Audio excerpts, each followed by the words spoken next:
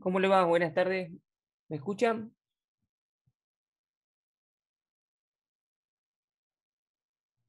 Sí, sí se escucha. Bien, bien.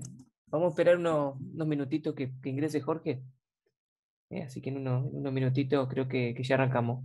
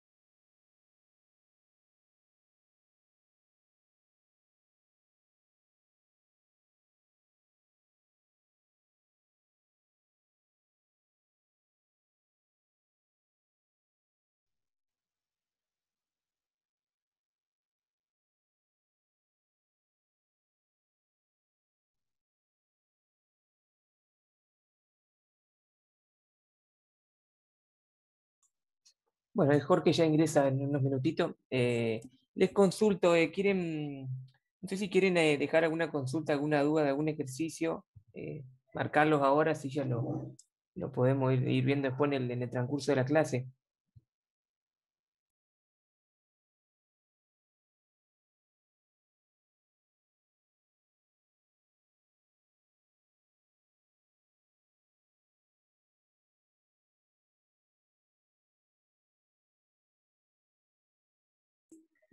Algún ejercicio que haya quedado que no les salió o de tema, bueno, puede ser de tema anteriores o de, del, tema actual, alguno de inducción o alguno que estuvieron mirando por ahí. Eh, si les quieren ir comentando o bueno, o dejándolo en el chat, no hay, no hay problema.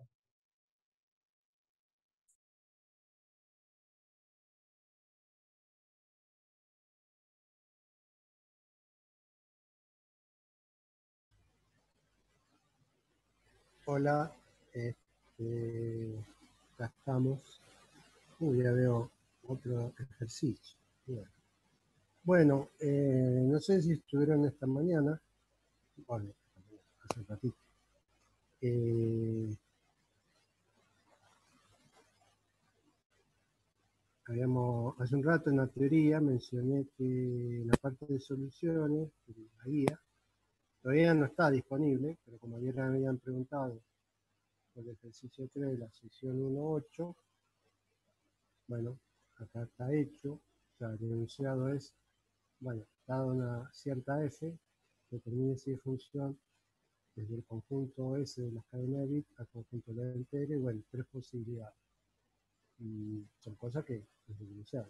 Fs es la posición del bit 0 en S, la otra FS es el número bit 1 en S, y bueno, y, la tercera la más rara. Pero bueno, si es que sí no comenté, pero por las dudas. Lo primero, que es una cadena bit, una sucesión de ceros o unos, puede ser finita o infinita, infinita para las cosas de la teoría, ¿no? Y, se llama?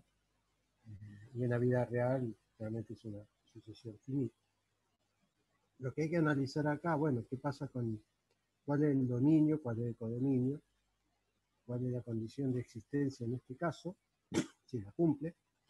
Bueno, en este caso, si uno le puede pensar un rato, como habla del bit 0 y nunca habla del bit 1, bueno, aquellas cadenas de bits que son solamente bit 1 no, no van a poder ser mapeadas, no van a tener una asignación. Entonces la condición de existencia no se va a dar. O sea, como haciendo el ejemplo allá en la teoría, si hubiera sido el, dominio del conjunto de los chicos y el dominio del conjunto de las chicas, la función sale con, habría algunos chicos que no salen con ninguna chica. Entonces la condición de existencia no se va a cumplir y bueno, no hace falta preguntar si, la universidad se cumple o no, porque no, no cumple uno, ya no puede ser función. Eh, en el B, bueno, es el número bit 1 en S uno diría, bueno, la cadena S puede tener ser todos ceros, o una mezcla de 0 y 1, bueno, no importa, o contás cuántos bits uno tiene, y si es 0 será 0. Eh, el asunto es que para cada cadena de bits es posible definir eh, una imagen en el conjunto de los enteros Z. Así que existencia la cumple.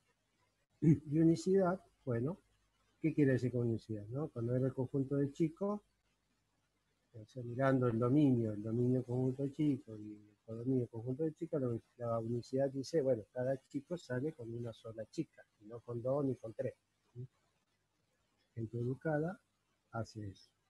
Entonces, la unicidad acá, bueno, es lo mismo. Dado una cadena, cada una de las cadenas del dominio, que son las cadenas de bits, solo se le asigna un, un único eh, número de bits. No importa, bueno, pero puede ser que dos diferentes em, cadenas tengan el mismo número de bits. Bueno, eso no importa.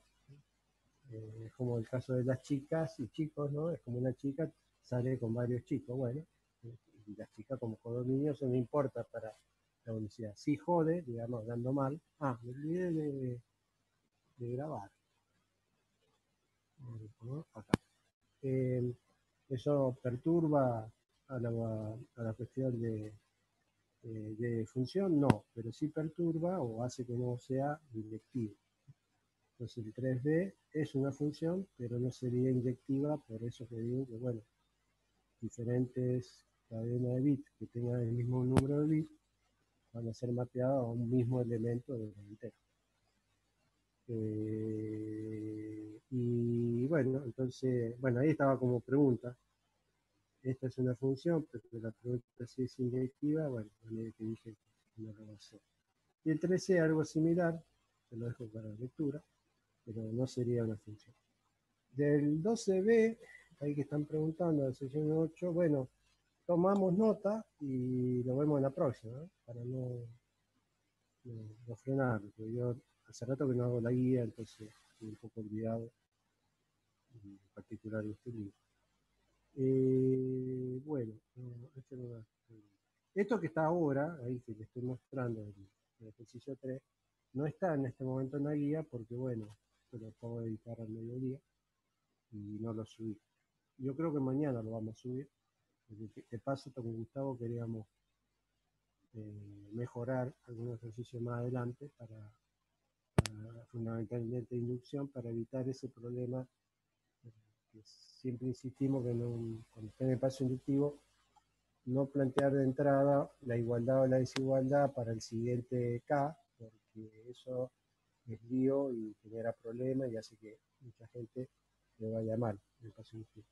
No es que esté mal lo que esté hecho ahora en la guía en algunos ejercicios, pero por ahí un lector distraído, que por ahí no entiendes todavía del todo, puede complicar la vida. Eso, eso lo, vamos, lo íbamos a cambiar.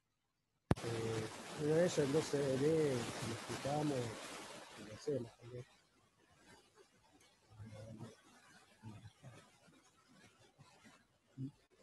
Pero más o menos, bueno, digamos, vayan practicando y bueno, las dudas las van planteando con tiempo. Si pueden escribir antes, mejor. Y si yo me puedo sentar, ahora. Bueno, a ver. Volviendo acá.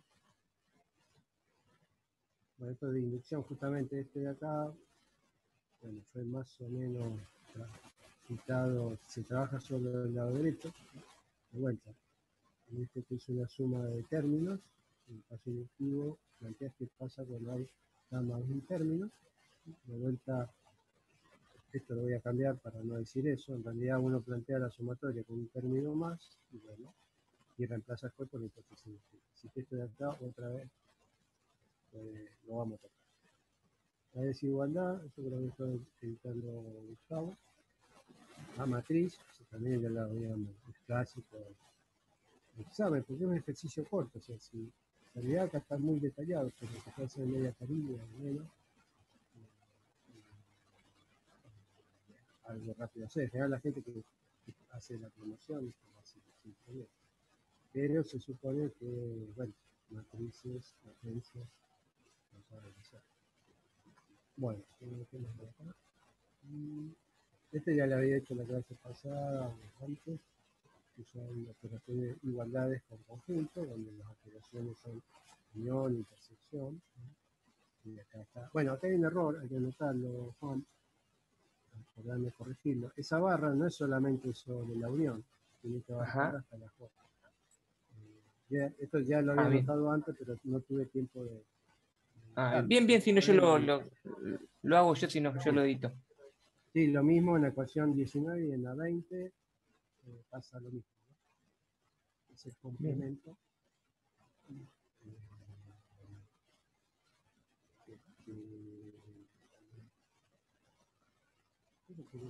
Bueno, no, más cuidado, pero no está bien. Así que no, es, esto, es el complemento de toda la unión, es la intersección de los complementos. Es de Morgan generalizado. Imagínate que fueran tres, tiene que salir.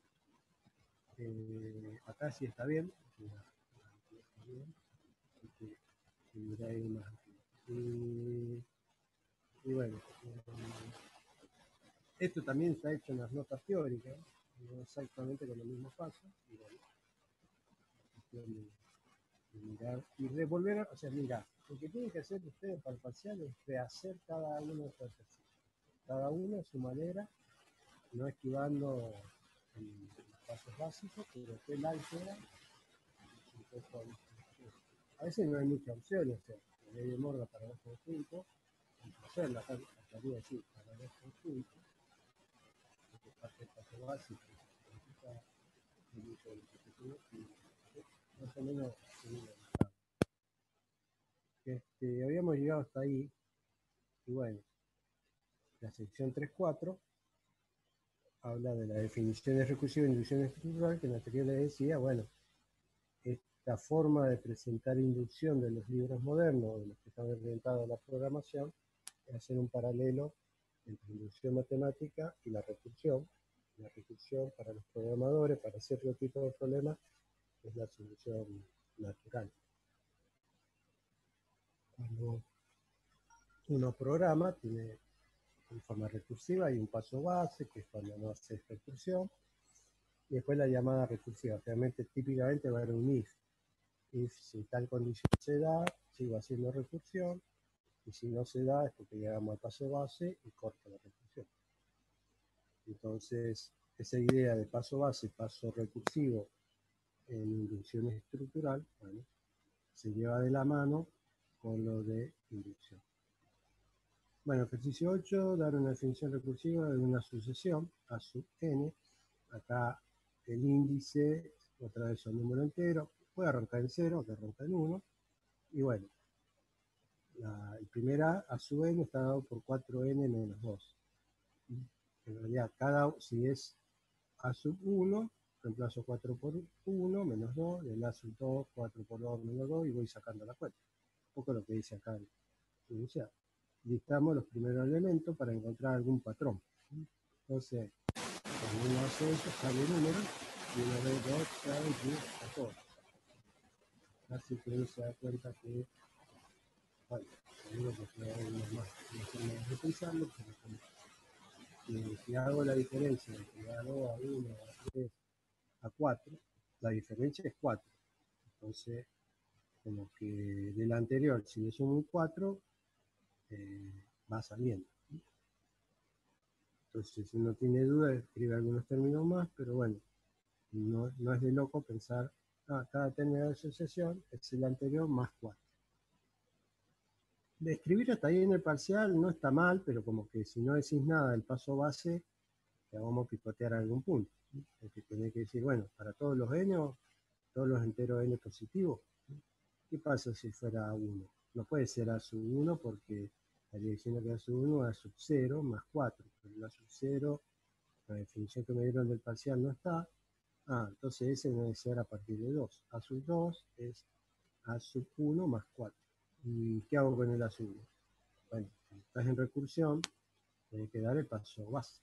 Así que lo escribís vos. O sea, esto no está en el enunciado y hay que uno deducirlo. Entonces, a veces me gusta escribir esto como si fuera hace unos matemáticos. A sub n igual una llave. Arriba a sub n, a sub n menos 1 más 4 cuando n es mayor a 2. Y abajo de la llave, sub 1 igual 2, o sea, 2 igual a 2 cuando n vale 1. Eso ahí queda claro que la definición tiene dos partes. Bueno, más o menos, pues, la misma estrategia inciso B, uno puede intentar calcular los primeros, cuánto, que hagan falta, pero cuatro valores, cinco valores no estaría mal. Si hago bien las cuentas, 0, 2, 0, 2. Aparentemente si sigo ganar 5, va a salir un 0. Potencia impar está negativo, se va a matar, efectivamente va a dar un 0. Así que la sucesión es eh, bueno, hay varias formas de escribir, acá dijeron, bueno, 0, 2, 0, 2, es como si fuera 2 corrida para atrás. ¿Qué queremos decir? A sub 3 es el A sub 1 y el A sub 4 es igual a A sub 2. Aparentemente eso se mantiene in eternum, así que no está mal llamar A sub n a n menos 2, pero hay dos pasos básicos, hay un 0 y hay un 2, así que hay que escribirlo. ¿Puede haber definición alternativa? Sí, podrán haber otras, pero tampoco busquen las que es más sencillas. Nadie te dice acá que debería haber un paso base dos pasos base. hasta que vos no haces un listado de valores y le das un poquito con cariño, eh, no puedes saber un paso base o dos pasos base. No se me ocurre en este momento cómo hacerlo de otra forma, pero ahí me parece natural. El C, que ya no sé qué es. Bueno, otra vez n por n más 1. Me conviene de nuevo calcular para los primeros n. Entonces, a su 1, a su 3, a su 4, a su 2, ¿no? Entonces 2, 6, 12, 20, 30. Y crece rápido, pero no tanto. Eh, como dicen ahí, o hago la diferencia o hago un cociente. Entonces, no sé si se acuerdan, no sé, en cálculo si han visto los criterios de convergencia de Cauchy y demás, que a veces hacían un cociente, a veces hacían una diferencia. Eh, En este caso, lo más sencillo es empezar con la diferencia. 6 menos 2, 12 menos 6, 20 menos 12, 30 menos 20.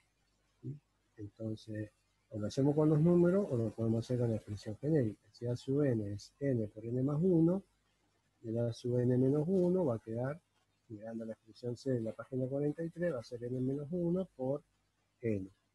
Y un poco, lo es lo que escribieron. ¿De dónde salió esto? Bueno, esto salió de la expresión A sub n, n más 1, cuando en vez de ser A sub n, es A sub n menos 1. Si eso no lo ven claro ahora, están en problema porque estarían manejando mal los, los Y la idea de un buen programador es que un aceptable manejo de su índice. Acá se le ocurrió hacer eso. Capaz que yo hubiera estado acá, lo hubiera hecho haciendo primero con números, después hubiera sacado una ley, pero tampoco está mal acá hacer esto. Porque da, algo, por suerte, si son menos, se van a matar seguramente. Eh, no sé qué hicieron. Eh, bueno, hicieron distributivo. Eh, no, sacaron factor común n, está bien, queda n más 1 menos n más menos 1. Con el menos y el menos, eh, el menos va a quedar más 1, va a quedar un 2, y el n con el menos n se van a matar, y va a quedar un 2n por paréntesis 2, o sea, 12. Bueno, de vuelta, eso es para este caso. Capaz que yo si hubiera estado haciendo por diferencia, hubiera tratado de ahí relacionar eso que va dando 4, eh, eh, que va a dar 6, eh, que va a dar 10, de alguna forma, y ahí deducir ese comportamiento de la N. No es obvio. Bueno, si esto es así, ah, bueno, entonces uno despeja para sacar el siguiente, bueno, es dos veces n más el anterior, el anterior más o menos. Si esto lo pensamos, lo que no vamos a ver mucho, es relación de recurrencia, que es una relación de recurrencia, cosas como esta, donde hay una sucesión, y hay una ley que me dice cómo sacar los diferentes términos de sucesión. Este, este en función del anterior, más algo. Bueno, es no homogénea por culpa del 2n. hay una, hay una, pero hay algo que no es A. Entonces, eso genera alguna dificultad en, el tratamiento matemático, pero bueno, ahora como simplemente queremos dar una relación de recurrencia, basta hacer, bueno, espejo, y tenemos que definir dónde arrancamos. Si el primero es, es 1, entonces el primer n debe ser 2, 2 menos 1 y queda más 1. Y ese hay que darlo explícitamente. Cuando uno lo hace, lo mejor es verificar que, que arranque, ¿no? Si es bueno, si es 2, eh, va a dar 2 por 2, 4, más el lazo 1 que es 2, eh, 4 más 2, 6, y generamos el lazo 2. Con el siguiente, con lazo 3, 2 por 3, 6, y hay que sumarle el anterior, que era 6. Va a dar 12, y bueno, se van aparentemente reproduciendo. Siempre que estar seguro. Bueno, estas que son así sencillitas, no hay que mirar tanto. Si un poco más elaborada, no sé, la 5, la 6 habría que verificar. Bueno, el D, ¿qué tiene el D? Y habría que, bueno, ese queda para ustedes, traten de hacerlo. Si no les salen, digan como acá Ezequiel, si no por ahí no, no te salió. Bueno, ahora no hay problema que lo pregunten porque todavía no es el parcial. El parcial, bueno, y ahí no van a poder preguntar. Así que traten de hacerlo para la próxima.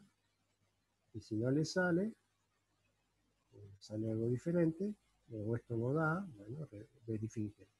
O sea, pregunten y lo revemos. No hace que esté esto mal tipiado y no ande.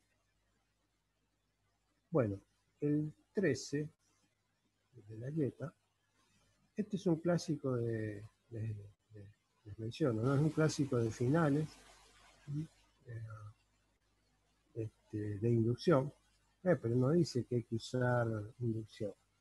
Bueno, yo en el parcial, en el examen te voy a poner, demuestre que la suma de los números de estos es Fibonacci. Bueno, a, eso faltaría decir, ¿no? Habría que decir acá enunciado, demuestre que F1 más F3 más el último, 2n menos 1, igual a F2n para todo positivo, siendo Fn el enésimo número de Fibonacci.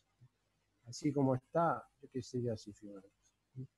Pero no se preocupen que en el examen está puesto incluso la definición de Fibonacci. Fibonacci, bueno, no es exactamente, o no es el Fibonacci original, porque el Fibonacci original dice F1 y F2 valen 1, así lo pensó Don Fibo, y de ahí en adelante que el problema de una pareja de conejos, un conejo y una coneja, y que sale una descendencia con una cierta tasa de crecimiento, bueno, y es la sucesión de Fibonacci. Ese es el problema histórico. Pues los matemáticos se ponen a imaginar variaciones, que podríamos arrancar en cero, eso no es el Fibonacci original, o podemos cambiar algunas cosas, algunos detalles, y bueno, son los que le dicen Fibonacci, cambian la F por la G como, como una especie de Fibonacci generalizado. Eso aparece bastante en la internet, ya sea en castellano o en inglés, así que guarda cuando buscan en internet Fibonacci, a qué se refiere exactamente Fibonacci. Son todos parecidos, pero bueno, puede haber alguna diferencia. En este caso, esto en la definición, esto lo vamos a dar en el examen como un dato. A veces les doy esta parte, a veces se lo digo en palabra o a veces no se lo digo. Porque para un examen de matemática discreta, el alumno debería saber la sucesión de Fibonacci, cómo se define, incluso cuáles son los primeros números, ¿no? 1, 1, 2 sumado va, porque es Fibonacci, cada número de la sucesión es la suma de los dos anteriores, siendo las semillas en la, versión original 1, 1. Que acá esta definición es equivalente, o sea, 0 más 1, 1 ya tienen, y después vuelve a sumar otro 1 y bueno, va dando. Pero eh, sería, bueno, 1, 1, después 2, después 2 más 1, 3, bueno, 5 y lo que vaya saliendo. Eh, de nuevo, no me gusta esto porque da en el paso inductivo, por esta cuestión que hay una igualdad que no se toca, así que no le den bolilla ahora porque esto mañana, o cuando lo suba mañana o el lunes, eh, esto no lo van a ver, porque hay que trabajar el lado derecho, así que lo vamos a saltear, para no, no, confundir, Pero lo vamos a escribir mejor para, no es que esté mal, ¿eh? el lado derecho está bien lo que está haciendo, pero no lo quiero hacer ahora. El paso base, bueno, miro el enunciado, bueno, acá hay un lío, pero si n vale 0, a ver, hay que tener cuidado en un parcial. El ejercicio, la consigna, es resolver esta sumatoria para todo entero positivo n. Entonces el primer positivo es 1, así que esto arranca en 1. Sin embargo, no sé si es el libro o el enunciado X de donde lo haya sacado, da una versión modificada donde Fibonacci arranca en 0, el n en 0. Entonces, ¿qué es? ¿0 o 1? ¿El paso base arranca en 0 o en 1? No. Vos tenés que mirar el enunciado. Si el enunciado del parcial, en el examen, todo entero positivo n, entonces el paso base es el primer n. Que la Fibonacci, que es un extra, tenga un corrimiento, eso es problema de, de FN, no de, lo que vas a hacer en el. Paso base, miro el enunciado, primer n es 1, así que eso está bien y lo reemplazamos, evaluamos el lado izquierdo por separado y separado el lado derecho. Pero para poder hacer eso, bueno, yo tengo que saber que el primer número Fibonacci, en base al dato este, es 1. Si vamos al lado derecho y calculamos 2 eh, por 1 es 2, o sea que es el número Fibonacci f sub 2, resulta que también es 1, y bueno, eh, resulta que va a dar eh, f1 esta sumatoria se quedó en 1, es F1, y del otro lado es F2, que también vale 1, y la igualdad se comprueba. De nuevo, en paso inductivo, tomamos un, un entero, habría que ser un entero K arbitrario pero fijo. Fijo es por un momento, no es que lo que queremos saber es si P de K fuera cierto, implica que P de K más 1 también es cierto. Eso es lo que hay que probar. Para algún K. Decimos fijo con la idea de que no digan para todos los enteros K, porque si decís para todos los enteros K positivo, estás diciendo el enunciado y bueno, no hay inducción, no, hay que probar nada. Entonces, es una sutileza, pero después se arma galleta. Vamos a posponer esto, esto lo vamos a dejar para la próxima, porque lo vamos a reeditar para quitar el lado izquierdo, eso no que esté mal, pero lo vamos a presentar ligeramente diferente, para evitar lío en parcial. No, pero, bueno, ah, pero la guía, bueno, la guía siempre hay aportes más de uno y bueno, a veces uno por fiaca cuando está editando hace copy-paste y, lo que parece que han hecho acá, en la línea 2 en adelante, y no haría falta eso. No haría falta e induce a confusión, por eso lo vamos a dejar pospuesta la paso ¿Se puede tomar el parcial 1? Y bueno, quizás, ¿no? Eh, no es un ejercicio ni difícil ni, ni trivial, ¿eh? ahí en el medio tengo más miedo, no sé, algún otro ejercicio de inducción, no sé, con, seno, coseno, cosas por ahí, que son más, más complicadas del álgebra, o la suma de cubos, ese también tengo. O sea, sé que si no tengo cuidado con el álgebra, no me voy a meter en un patano y no me va a salir. Eh, este es más fácil. Está bueno para los finales porque la persona demuestra que sabe el tema de Fibonacci y sabe inducción. Bueno, ah, ah, este, claro, nada más, este lo, agregó Juan, Juan Jiménez. Determina el número de divisiones realizadas por el algoritmo de Euclides para encontrar el máximo como sucesor de los números Fibonacci. Eh, verifique su respuesta utilizando inducción. Si no mal recuerdo, corríjanme ustedes, pero en el ROSE no hay nada de esto. Eh, les comento que está como un teorema, cual es el resultado de el algoritmo Euclides cuando uno analiza el costo en el Johnson Entonces, lo voy a charlar con, con Gustavo, a ver si qué hacemos acá. Me gustaría escribir algo para que tengan elementos para ver. Así que, no sé, Juan Pablo, toma nota de este 17 para si lo charlo con Gustavo, si ponemos pistas o lo hacemos directamente para que quede. Bien, bien. Sí, porque así como está, viste, muy pocos lo van a poder encarar, ¿no? O sea, aquel que explora un poco en internet, busca otros libros, lo va a encontrar.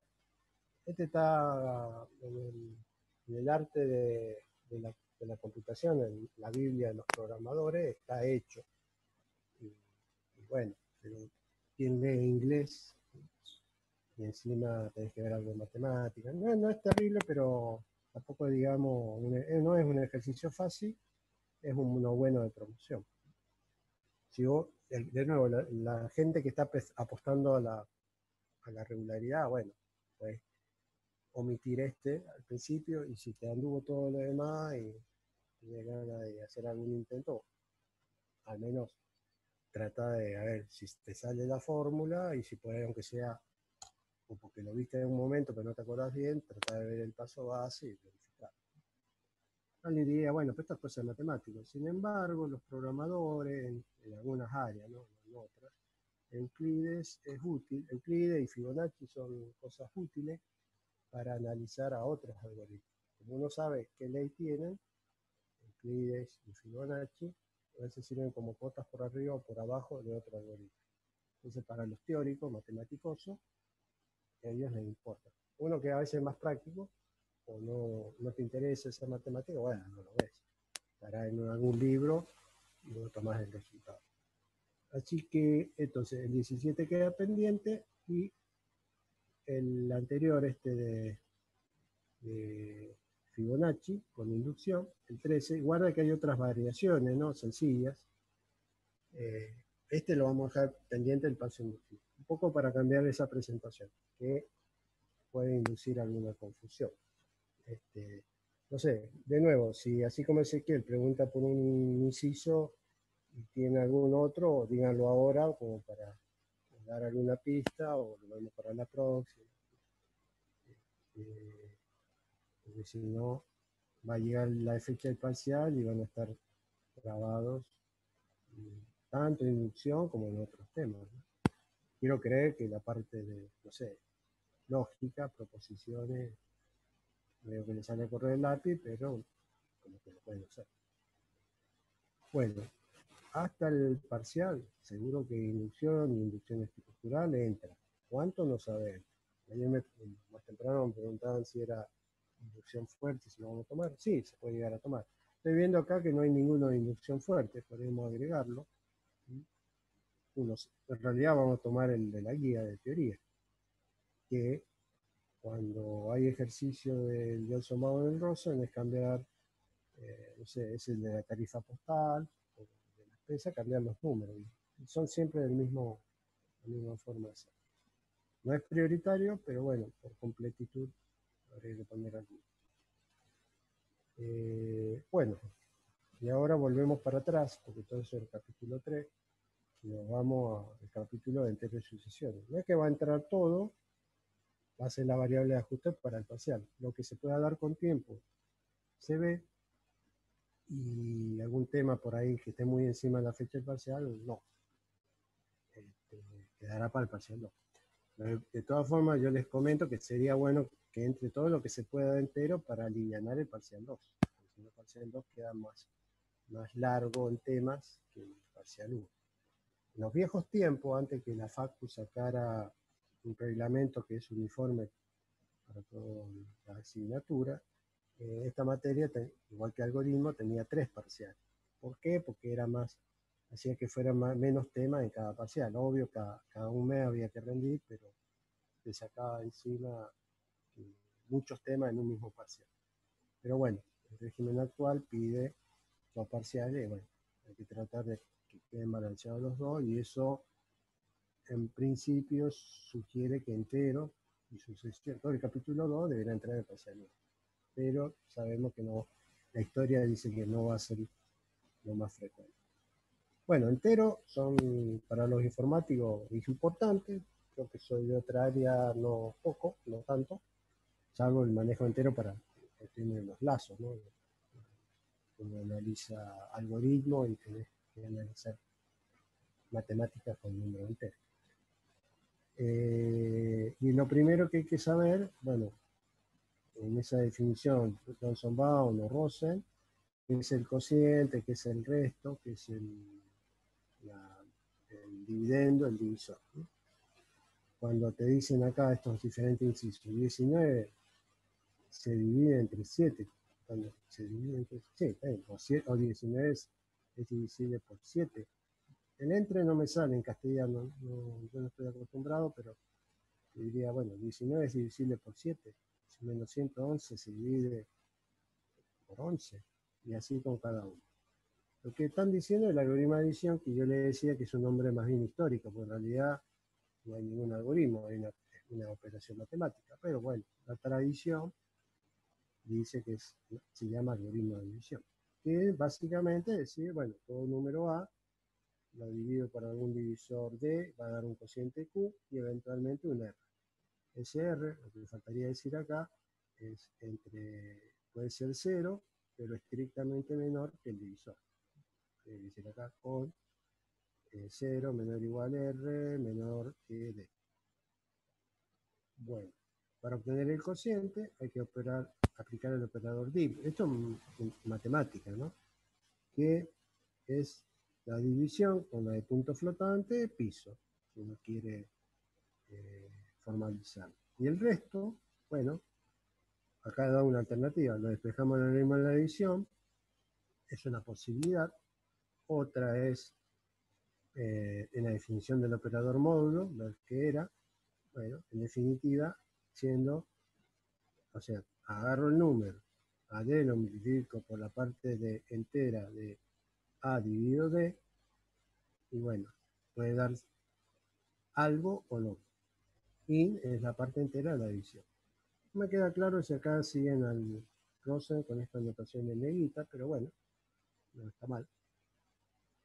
Y entonces, en, los lenguajes de programación, dependerá del lenguaje, si existe el operador DIP, si existe el operador eh, IN, o existe el operador mod. Tuviéramos el lenguaje Pascal, efectivamente esto que es matemática, así se codificaría el lenguaje Pascal.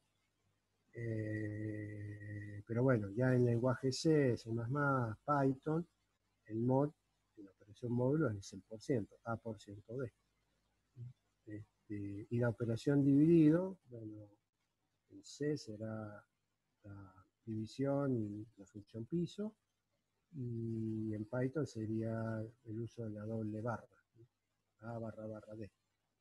Bueno, si A es 19 y el divisor es 7, bueno, lo dividimos, 19 dividido 7 en forma entera, hacemos la cuenta ahí como enseñaron en la primaria, bueno, 2, 2 por 7, 14 y queda un resto, que es justamente 19 menos 14, que el 5, que era la otra, la primera alternativa que daba. ¿no? Eh, y bueno, y eso es todo. Le vamos a dejar para ustedes, para que hagan algo, eh, los diferentes casos hasta el final, me imagino, a todos. Sí. Bueno, menos el penúltimo, el G. ¿Qué es? Menos 1 si es divisible por 3. Bueno, eh, si uno aplica las definiciones, menos 1 dividido 3, bueno, el signo se conserva, pues hagan la cuenta como en la escuela primaria, con la barrita, uno hace la, división, hay que poner signo, porque la única forma que, si lo que está dividiendo es menos 1 y cuando reste va a tener que ser más 1, la, única chance es que el cociente tenga signo. Y el resto, bueno, justamente va a dar el, 2. Bueno, eh, acá no sé qué dice. Esto quedó así. me parece que hay un bug ahí. Toma nota, Juan, para dividir, porque ahí no se entiende qué hace la palabra algoritmo. Sí. es un bug. Sí, sí. Nosotros vamos a corregir esto, esto, no sé si decir algo más, pero intenten hacer del B hasta el E si pueden, si no anda, por ahí están dudando que lo han hecho bien, bueno, lo repasamos. Tuviéramos una clase ahí en el aula, no sé, la pizarra, uno pasa e intenta hacerlo. Total, a ver, si uno por ahí pasa la pizarra, no te sale, no pasa nada, porque no, hay evaluación todavía, así que nadie se va a reír. Porque uno debe aprender, bueno, uno tiene todo el derecho a meter la pata, pero bueno, con la idea de, un momento poderlo eh, hacerlo bien. Así que tienen tarea para lograr eso, hacer esos, el H eventualmente, si es que lo pueden hacer, si se traban, bueno, lo vamos a ver. Pero bueno, me parece que es fácil, ¿no? 4 divisible por 1. Y sí, porque el cociente, 4 de 1, sale un cociente, el resto va a dar 0, así que no debería dar drama el, H. Pero en casos negativos hay que tener algún, algún cuidado. Lógicamente las definiciones como notado acá, ah, divisor, el que divide siempre es un número positivo. Pero el dividendo o es positivo, o es negativo. Acá hay un número con coma, flotante, habría que ver qué pasa. ¿Qué pasa con cero? Este ya lo, en la teoría ya lo comentamos, en el caso E, todo número entero positivo divide a cero. Al revés no, o sea, no puedo dividir por cero, pero al revés sí, o sea, 0 eh, lo divido con 19, da un cociente, y el resto va a dar eh, algo. Entonces, va a dar 0. Como ocurre eso? Bueno, todos los enteros positivos dividen a 0. Y importante, va, importante. Justamente en algún ejercicio de inducción, eso de hay que demostrar que una expresión polinómica es divisible por 3, por 5, por lo que fuera, el paso base cae, caemos en esto, que hay un 0 y uno se pregunta, ah, 0 es divisible por 3. Bueno, la respuesta es sí. El que no estuvo en la teórica, que lo busque ahí en el apuntecito, que es un comentario, que lo, ni el Johnson o el Rosen me parece que lo dicen mucho, o lo dicen muy cortito y, digamos, si uno nunca me lo dijeron en una primaria, como el que me dijo acá, no me entiende. Con una pequeña explicación ya se entiende mejor y uno, ah, no me están entendiendo y está bien. Eh, acá 11, obtén la descomposición, factores primos, cada uno está entero. 8, 8, 1, 6, 7, 29. Quiero creer que esto es 1 punto, ¿no? Que no es el, no es el 1001. No, acá te vino que parecen, capaz que son números enteros, ¿no? Yo por ahí ya como, yo pondría acá el espacio, ¿no? Como para evitar lío, porque si no esto no creo que sea el número. En el libro, ¿cómo está? Con puntos. Si alguno lo puede ver. Eh, es ambiguo. A mí, yo, estamos pensando, estamos pensando como ingleses o como programadores. Entonces, si yo veo esto, es un número con puntos. me parece que no es el caso. Este 909.090, no sé, me huele que es más un número entero. Pero bueno, capaz que me estoy equivocando. Otra cosa para tomar nota y chequear. Sí, sí, ahí lo, ahí lo chequeo con el libro y lo vemos bien. Ah, Sí, sí, poné ahí para preguntarle a Gustavo. lo fresco. Esto, acá han contribuido más de una persona, entonces no necesariamente Gustavo lo editó, o capaz que Gustavo sí, pero alguien se lo editó, y bueno, esas cosas, un trabajo colaborativo es normal. Bueno, tomamos nota y vamos a ver qué es. Eh, ahí en la teoría estábamos viendo, a ver, lo estoy dando porque algo vimos de- del capítulo 2, por eso prefiero ahora avanzar. Ya sé que en la mañana estoy un poco más atrás, pero bueno, eh, si en la mañana nos alcanzan, mejor. Mm, En primos, todo número entero se puede descomponer como números primos. Una receta, agarro el, el- el número, lo que necesito saber cuáles son los primeros primos. Entonces, todo estudiante de kindergarten de la informática de la electrónica debería saber cuáles son los primeros primos. ¿sí? No hay que saberlo de memoria, memoria, pero bueno, hay que en los presentes de última escribir en una tablita, ah, cuáles son. Uno no es primo, el primer primo es dos, que hasta donde se sabe es el único primo par. Después tres, después cinco. Empecemos por el principio. ¿Qué era un número primo? Bueno, es que el número entero mayor a uno, tanto que lo, que que lo pueden dividir en forma entera exacta es el mismo número y el 1.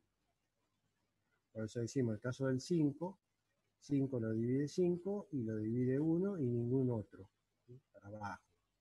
Entonces es un número primo. Lo mismo pasa con el 3 y lo mismo pasa con el 2. 2, 3, 5 son primos. 4 ya no, porque lo divide 4 y lo divide 2 y entonces no lo es. Van bien, o bueno, 6 no es primo, 7 sí lo es, 8 no, 9 no lo es, divíselo por 3, y es lo mismo, no es, 11 sí, y bueno, 11, 13, 17, 19, 23, creo que 29, 31 y así. Entonces un poco en esta receta que dan, bueno, agarro el 88, lo divido por el primer primo, es 44 el cociente. Vuelvo a tomar lo que queda y lo vuelvo a dividir por ese primo, el, el 2, sale 22. Vuelvo a dividir con, con el mismo primo y sale 11. ¿Cuándo se para? Justamente cuando el cociente es un número primo. Ahí sería, si esto habría que escribir un algoritmo, while true, o una cosa así, porque no cuánto voy a iterar, hago la división y si el cociente eh, no es primo, entonces sigo dividiendo. O al revés, podemos decir, si el cociente es primo, un break y salir, lo que. No vamos a preguntar ahora un algoritmo, como, como se bloqueó. Pero el asunto es que divido por el primer primo y mientras no salga un primo sigo dividiendo. Y bueno, en el 88 efectivamente aparece tres veces. Habría que ir guardando en alguna estructura, si estoy pensando en un algoritmo, ¿no? Esos diferentes cocientes que fueron saliendo y el último. Y esa es la factorización. Eh, no, es no es tan malo, pero bueno, en realidad no es eficiente, pero bueno, no- yo no tengo formación en algoritmos para estos casos, para encriptación y demás, así que lo vamos a dejar para los expertos. Pero lo básico es eso. Esa receta es programable y bueno, voy a poder obtener factorizaciones de descomponer un número en sus factores primos. Eh, La representación es única. Bueno, para que sea única, los teóricos dicen, bueno, pongámoslo en forma creciente no monótona o decreciente no monótona. Acá está el más chico y después el, que. Bueno, si esa es la receta del inciso A, en el B debe ser algo parecido. El primer primo es 2, 126 lo divido, el cociente sale 63, ¿sí? este, 63 lo divido por 3. Esa división, ¿cómo se piensa? Y bueno, es una de en tres partes, la, la bien, pero por 6, es una división entera. Y cuando 21 dividido 3 da 7, y 7 es un número primo, bueno, finalizamos y bueno, queda esa descomposición. 2, 3, 6. Apliquen eso, esa receta para los diferentes, bueno, tengo la duda acá de nuevo, es el número entero, no creo que sea con coma, pues no tendría mucho sentido. Vamos a tratar eso de, sacar. Eh, bueno, acuérdense en la teoría, depende, a veces uno se olvida o se le mezclan las palabras, de hecho me suele pasar a mí. MCD es el máximo común que en inglés es GSM o algo así. Eh, ese viene por Euclides, básicamente, cuando lo va a programar.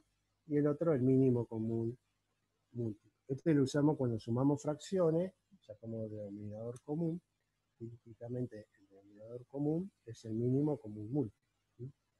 Si uno tiene que sumar las fracciones un tercio y un cuarto, hay que poner un denominador común tal que sea múltiplo de 3 y de 4. Entonces, 6 es múltiplo de 3, pero no es múltiplo de 4. El siguiente a 6 va a ser 9. 9 es divisible por 3, pero no por 4. Y, ahí caemos en 2. Entonces, yo sumo un tercio y un cuarto. El mínimo común múltiplo es 3 por 4, que es 12. Entonces, después 12 dio 3 y voy multiplicando por el numerador y hago la suma de fracciones como enseñaron en el kindergarten. Eh, y el máximo común divisor eh, va a venir por aquí, posiblemente. Acá dice, bueno, acá ya hay una descomposición de números primos, creo. Hay una coma ahí, claro, porque son pares. Pares de enteros. Esto es un entero, si saco la cuenta sale un número, este es otro entero y por eso está la coma. Lo mismo en inciso B. Otra vez, eso es un número, se van a las multiplicaciones y este es otro número. Acá hay que acordarse de la teoría, de nuevo, como diría Gustavo, lean la teoría. Y ahí se aseguran, de nuevo, leer la teoría, saben que es una lata, pero en el parcial, como se pueden colar preguntas sencillas de definiciones, se puede anotar unos por otros, recitando definiciones y bueno, tener más chance de llegar a la, de mínima, la regularidad. Eh, bueno, en la teoría estaba esta idea que todo entero eh, lo vamos a descomponer con un producto de números primos elevado a ciertas potencias. Cuando hay dos enteros, generalmente uno busca, si uno trabajó la descomposición de A, bueno, será un cierto conjunto, subconjunto de primos, no todos necesariamente, y en el B otro tanto. Pero después lo, lo, lo junto todos para hacer una misma cantidad de factores, y si alguno, no sé, en el A está el primo P1 a la 1. Si ese no estaba realmente, porque la factorización salía de otra cosa, bueno, A1 puede valer 0 y entonces no hay drama. Lo mismo para B. Pero el asunto cuando la, idea de trabajar con los enteros A y B a la vez, me conviene poner todos los primos que tengan tanto A como B.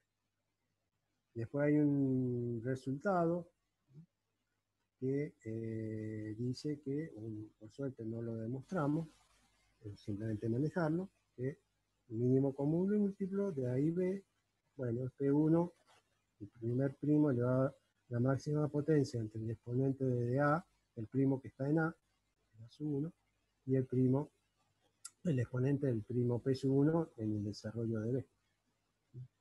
Y el máximo común divisor, en vez de ser el máximo, es el es hincha, pero interesante preguntarle a, los parciales, porque bueno, el que está peleado con la notación matemática, acá escribe cualquier verdura y le sale malo. o sea, puede ser que no lo entienda, lo, miró por arriba y nunca lo rayó, o bueno, eh, todavía tiene que pulir la notación. Porque lo estudió, eh, hasta lo puede decir, pero no lo puede escribir.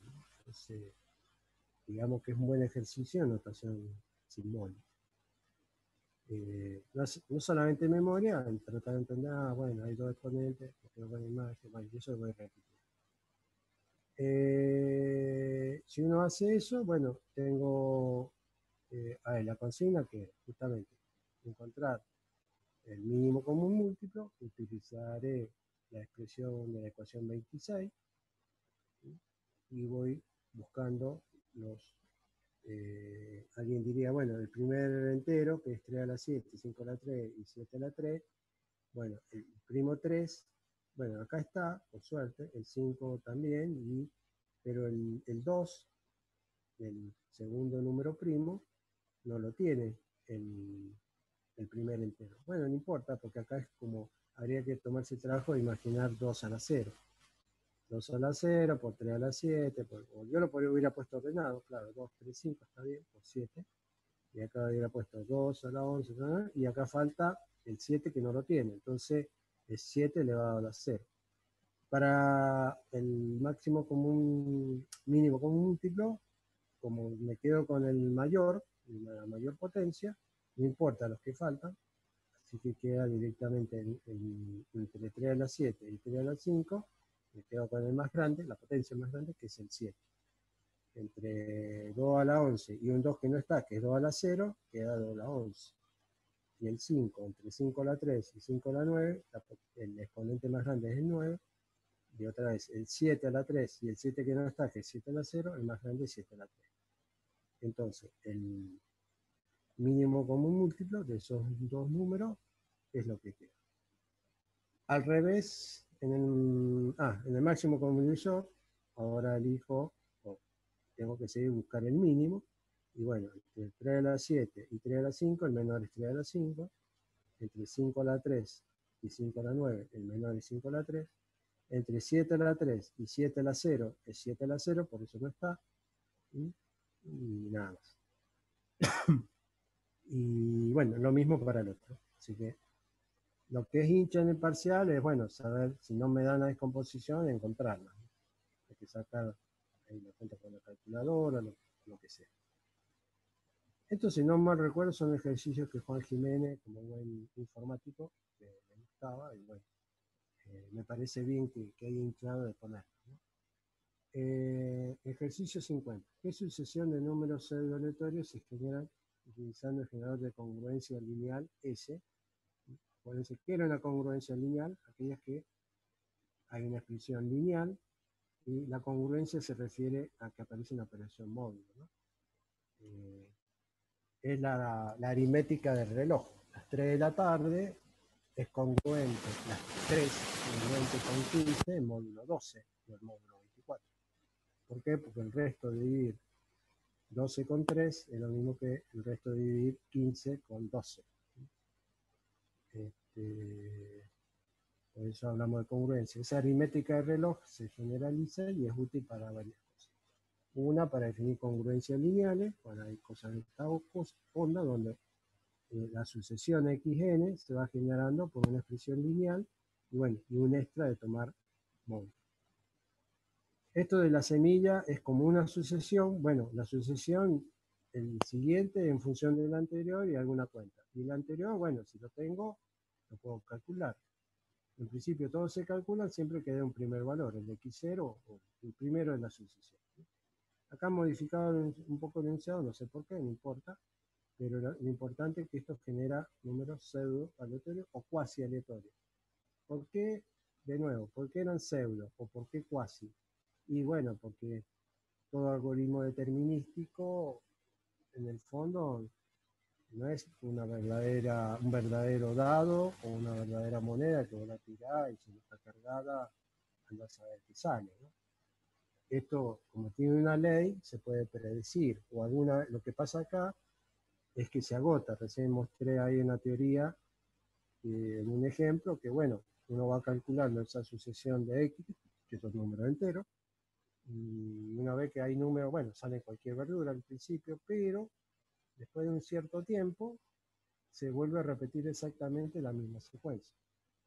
Y ya les comenté que, bueno, eso cuando por accidente de la vida eh, uno como programador se, se, le pasa, puede hacer bacana, como el caso de, del casino en Canadá en los 90 o los 80, que un timbero se dio cuenta jugando ahí todo el día en la máquina, y se da cuenta que en cierta sucesión de salidas se repetía. Y bueno, le termina ganando la máquina, el casino no quiere pagar, va a juicio, y el juicio se determina que, por esas cosas de la vida, el, generador este, que es una tendencia así como valor semilla, tenía eh, una misma semilla, entonces, ¿qué pasaba? A la noche le hacían el servicio a la máquina, apagaban, cuando la volvían a encender, tomaba la misma semilla y la secuencia se volvía a repetir, exactamente igual que el día anterior.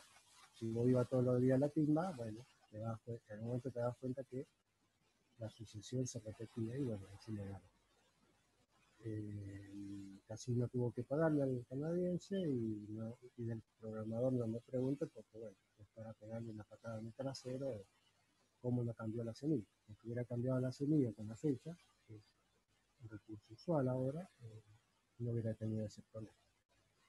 Bueno, pero eso tal vez va a ser de interés para los que son programadores. ¿no? Todo ingeniero industrial casi que no me importa, pero bueno, guarda que a veces cuando uno hace en otras áreas de ingeniería, a veces uno hace modelos donde el número aleatorio aparece y bueno, sería bueno contar con un buen generador de número. No sé, hay un FIC, que en la ingeniería de materiales, y hay gente que cuando van a simular los materiales, bueno, usan modelos de computadora y una computadora, la idea del número aleatorio, digamos, súper super usado. Bueno, sea como sea, esto es un generador, eh, tiene sus limitaciones. Este, ¿Qué dice acá? Eh, bueno, la semilla. Bueno, el primer valor es lo que dice. Bueno, reemplazo de la semilla me da que es 3, 5 por 3, más 3 a un número, módulo 7, y hago la cuenta. 5 por 3, 15, más 3, 18. 18 módulo 7 significa el resto de 18 con 7. Y bueno, 7 por 2, 14. Y 18 menos 14 al 4. Así que ese es el resultado. Hacen esas cuentas con los siguientes valores y bueno, obtienen la secuencia 3, 4, 2, 6, 5, 0, 3, 4, 2, 6, 5. Y acá ya están viendo, después de mirarlo con un poco de cuidado, que la sucesión, aparentemente la secuencia es 3, 4, 2, 6, 5, 0. Después vuelve a ser 3, 4, 2, 6, 5, 0. Entonces, notar que se generan 6 números en forma aleatoria, pero el ciclo después se repite. Eh, el 1 de la semilla nunca aparece. Bueno, es como que las, hay una secuencia y puede haber algún valor inicial que no sea. Bueno, si eso ocurre, esto no es bueno. ¿Y cómo lo arreglamos matemáticas? Tratando que el periodo sea grande. Si acá te salen un millón de números diferentes y después vuelve a repetirse, te va a costar mucho darte cuenta de que, no es realmente un buen dato. Eh, y por eso cuando si ustedes van en la programación van a ver eh, los valores semilla o, el parámetro del módulo, son, suelen ser números grandes o números medio extremos para, para poner, pero con la idea de que el periodo sea grande. Eso sería fundamental para estar. Estos números de lotería haciendo a través de un generador de congruencia lineal. Bueno, eh, Juan Jiménez estaba muy entusiasmado con estos temas y él dice, bueno, agreguemos el ejercicio 53. Bueno, no exactamente 53, o no, habrá cambiado, no me acuerdo. Pero dice, pongamos algo de cifrado César. Cifrar un mensaje, no pasar, son caracteres. Bueno, ¿cómo hacemos? Traducimos la letra a número. ¿Y cómo hacemos eso? Bueno, acá pusieron el alfabeto español de 27. Yo le he dicho el de 26 en inglés porque no está mal, es un dato del, parcial, ponele, qué alfabeto uso, si 27 o 26 letras, y qué hago. Y bueno, la A será el lugar 1, el B el lugar 2, y así, una hoja voy a tener que escribirme el abecedario, y abajo lo Supongo, quiero creer, a veces uno está corrigiendo eso, pero ¿cómo? Y el alumno no, no está bien de entrada, no está tan mal, Después uno se da cuenta que el alumno cuando escribió el alfabeto no se acordaba bien y ya que nunca probó la lección de, de dar el alfabeto, A, B, C, D. Así que repásenlo por las dudas porque le vamos a sacar puntos si no saben el alfabeto. Eh, es una pavada, pero está bien. En realidad, si todo lo demás estaría bien, era posible el ejercicio, pero queda flojo que un ingeniero universitario no sepa recitar el abecedario. Este, sea como sea, yo digo, bueno, escriban las letras A hasta la Z, pongan los numeritos abajo, o lo que haga falta, y bueno, empiecen a cifrar. Una vez que sé que esto lo paso a número.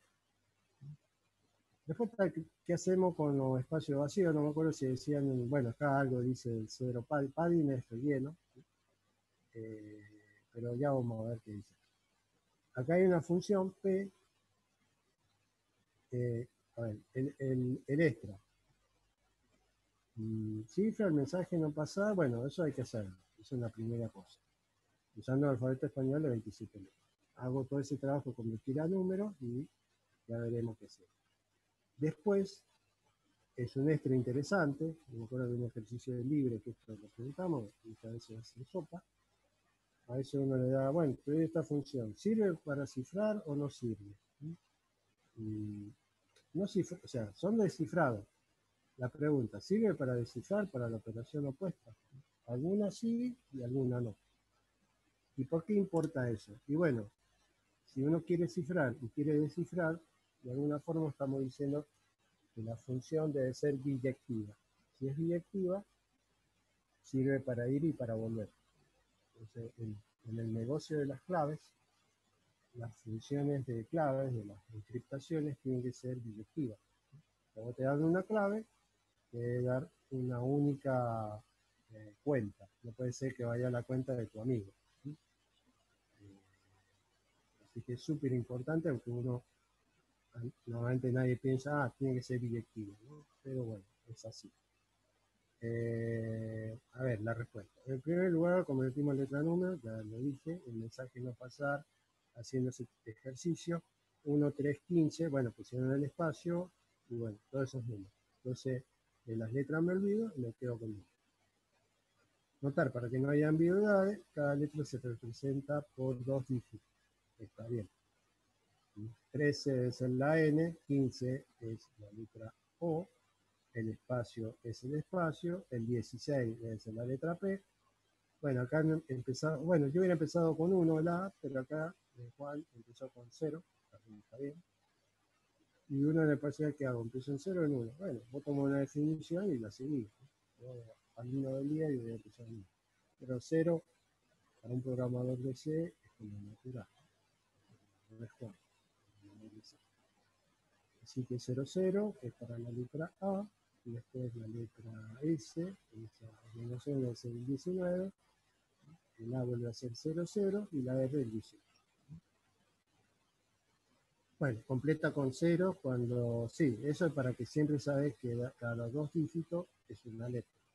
Si uno no se toma ese trabajo, como dice ahí, podría ser ambiguo. Así que eso digamos, hay que, es importante.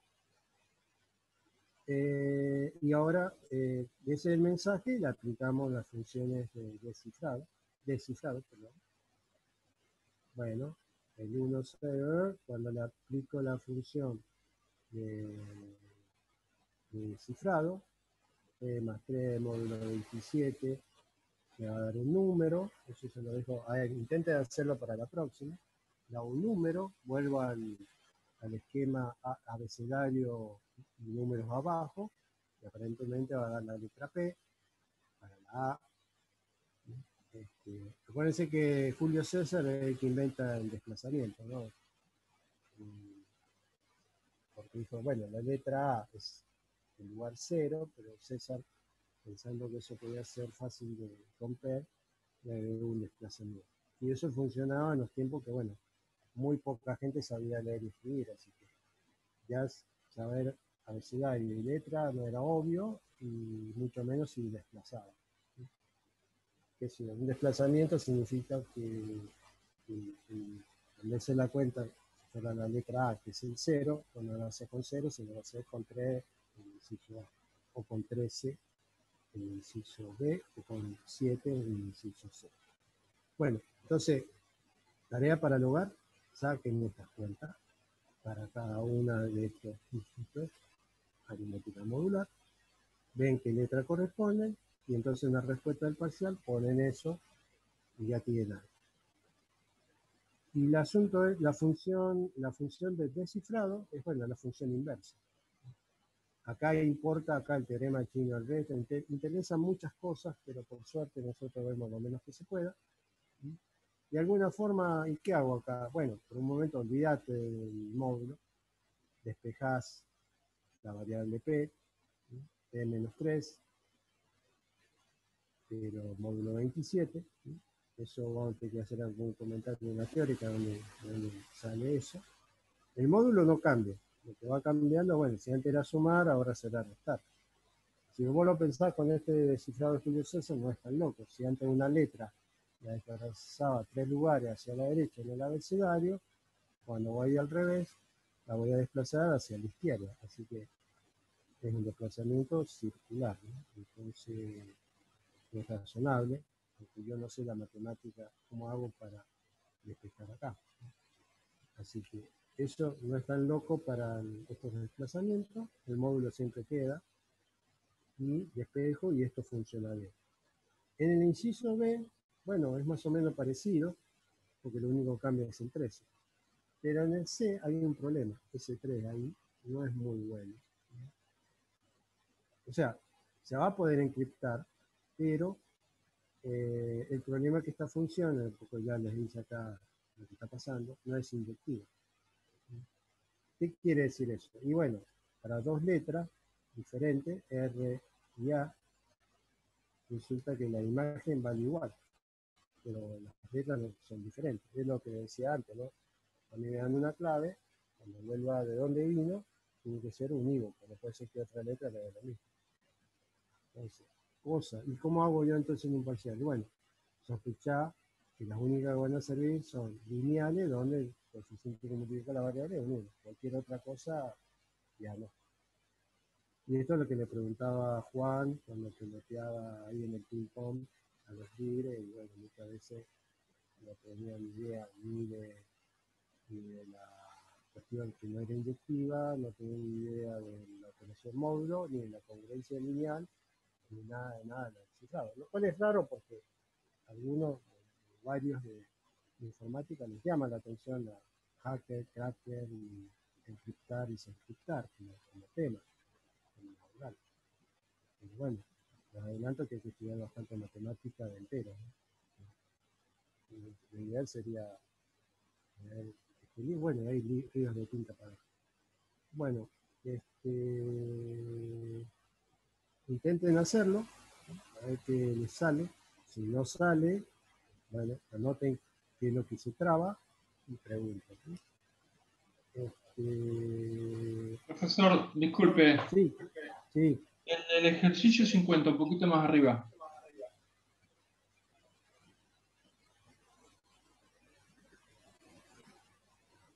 Sí.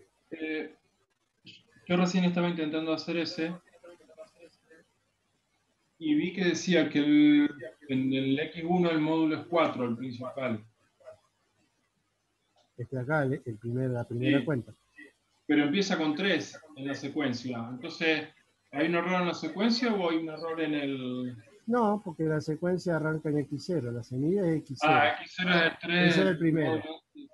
Claro, Ujú. ya entendí. Este es el X0 que es 3, el X1 es 4. Entonces, cuando hace el listado de la secuencia, a veces hay gente que pone paréntesis, ¿no? La secuencia 3 y 4. Será esto raro, ¿no? Yo también me, por ahí me llamaba la atención. Ah, 3, 4, eh, no agregó, eh, no, sí lo agregó. Lo que no, ah, no, nada.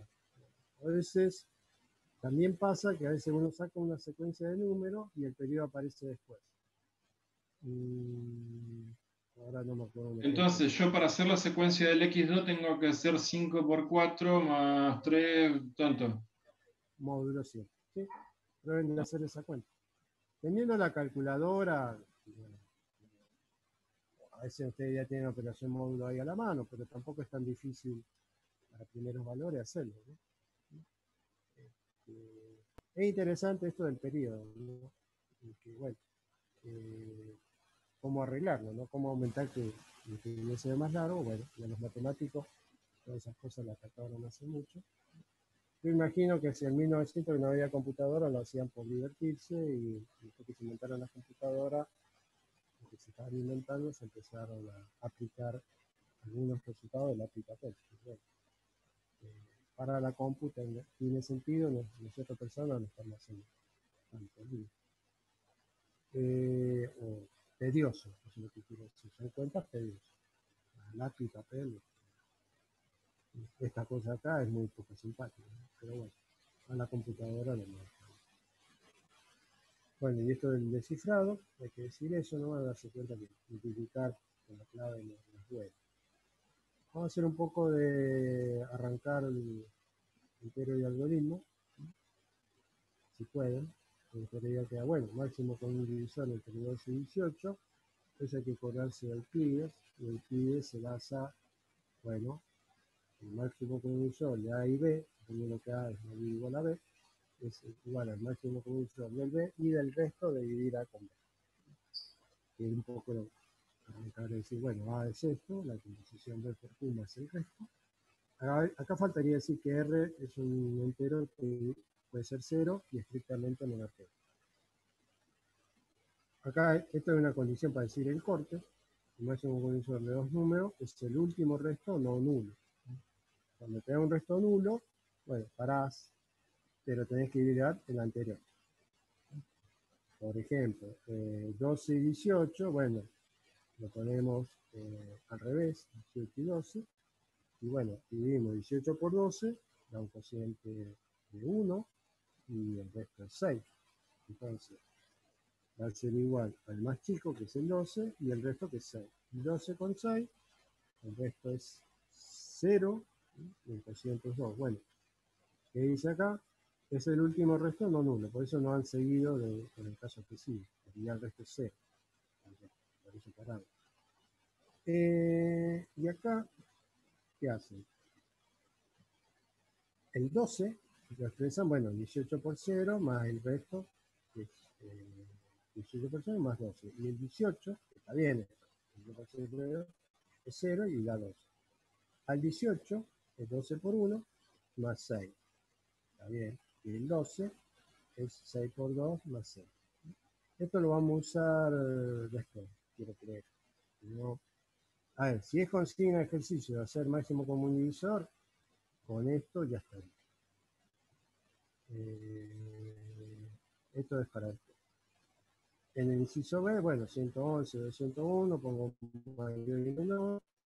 Eh, en paso que se saltearon. Dividen 201 por 111, da un cociente y un resto. El resto es de 90. Entonces, el más chico es 111 con el resto que es 90. Si uno tiene duda, bueno, trate de reconstruir el número al 201 por el 111. Que en realidad eh, se da cuenta, ¿no? Porque sería 1 por 111 más 90 que el resto, da el 201. Bueno, eh, y bueno, de vuelta, este es más grande, este es más chico, lo divido, el cociente debe dar 1 y un resto de 21. Entonces, como el más chico, 90 y 21. Y bueno, Ahora el resto de con esto va a dar eh, aparentemente un resto de 6. Entonces, 21 por 6, lo divido, es, seguro que es un 18, debe ser un 3 por 6, 18, y el resto es 3, lo que ven acá. Y bueno, y el resto de aquí va a ser eh, 6 o 3, eh, va a ser 0, y ahí va a parar. Y como esa ecuación no la escribieron, bueno, es el 3 directamente. Eh, acá lo vuelven a expandir. ¿Qué quieren decir? Bueno, 111 lo expresamos en función del 201 más, más el resto. El 201, o sea que este número pasa abajo y vuelvo a aplicar la historia de ah, 111 por 1 más 90. El 111 lo pasan abajo, lo expresa bueno, como 90, el cociente dividido por 90 y el resto el 90 pasa abajo, algún cociente, eh, función del 21, y 4 eh, veces 21 más el resto de 6. y así queda esta expresión 0. De nuevo, acá, como consigna de máximo común divisor, no, eso no habría que hacerlo, no haría falta. Lo he puesto para otra cosa, quiero que Bueno, tarea para el hogar que sea, hagan esto de la aplicación de la, del teorema o del Euclides para 1001, 1331, yo estaría dando vuelta, y 12345 y 54321. Eh, y vemos esto. Esto está para otra cosa, esto que hemos escrito, ¿no? O sea, es para esa propiedad que les decía recién en la teoría de que, bueno, el máximo común de dos números se puede expresar como una combinación lineal de esos números. Eh, ¿Para qué sirve? Bueno, ya le dije que eso es muy importante cuando uno está en la matemática de la implicación RCA, hace falta ese lema. Yo al principio no le daba bolilla, es un resultado matemática auxiliar, pero si no tenés ese lema, y después cuando estás programando, no lo implementas, no, puedes hacer la de RCA. Así que digamos, los que son hackers, crackers y tengan ganas de meterse con, esas herramientas, bueno, hay que ponerse a estudiar bastante teoría Yo diría cortamos acá, si sabe que hay alguna otra pregunta, porque conteo claramente es parcial 2, así que a conteo me gustaría no meterme si podemos terminar idealmente el capítulo 2, lo haremos. Pero me gustaría, de último, de último media máquina, pero digamos, traten ustedes como prioritario inducción, después, bueno, funciones, conjuntos, y lógica, y bueno, si tienen tiempo, el capítulo 2 de, de hagan lo que está pautado y lo que no les salga, van, paran, pasan a otra cosa y lo dejan pendiente. Yo dejé acá pendiente el de la suma de los nuevos Fibonacci, se lo voy a reescribir con Gustavo para, para acomodar. Bueno, Juan. Uh, no, es fácil. En realidad, por más que hicimos salto, eh, lo de la lista que nos tienen acá es, si querés, seguir la punta de la teórica. La punta de la teórica sigue la numeración del roce, y si hay que verlo, ahora el desarrollo, y a veces dice omitir. Bueno, omitir, la. Eh, así que yo diría, la lista está implícita en la guía de la teoría, porque ahí está ordenado según... Eh, la punta de la teoría sigue exactamente el orden del goce, desde el 1 al capítulo 3, digamos, y en el camino vas, a, vas a tachando cosas que no vamos a ver. Nosotros cuando hicimos ahora, la, como está incluso aquí, eh, pasamos después del capítulo 1 y 2, nos fuimos directamente al, 3. No, después del capítulo 1 saltamos al 3 y después volvimos al 2. Eh, y en, cada uno de ellos fuimos saltando cosas. Por ejemplo, en lógica, algo que le gustaba a Pablo Cler, pero bueno, Pablo ahora está en la tecnológica, es los juegos de lógica, ¿no? es, una, ahí en la sección del principio de, las proposiciones está, que era divertido, pero bueno, se podía volver loco. eso si buscan parciales de año atrás lo van a ver, pero como ya no lo damos, no lo tomamos. Entonces, el apunte del teórico está marcado ver, no ver, opcional ver. Si sigue, a ver, ah, pero yo miro y para acá y no entiendo bien, bueno, me manda un mail y lo arreglo ahí en la teórica de, decirlo mejor. Eh, ¿Algo más? ¿No? Este, vamos a parar ya la... Bueno, esto no, no era lo que yo quería parar. Vamos a parar ahí nada. Bueno, gente, si no hay pregunta, otro comentario, eh, cortaríamos acá. Bueno, listo, Ezequiel y demás. Que les vaya bien. Nos vemos en la próxima. Y, Hasta luego. Hasta luego, Jorge. Chao, chao. Chao, Juan. Bye, bye, bye.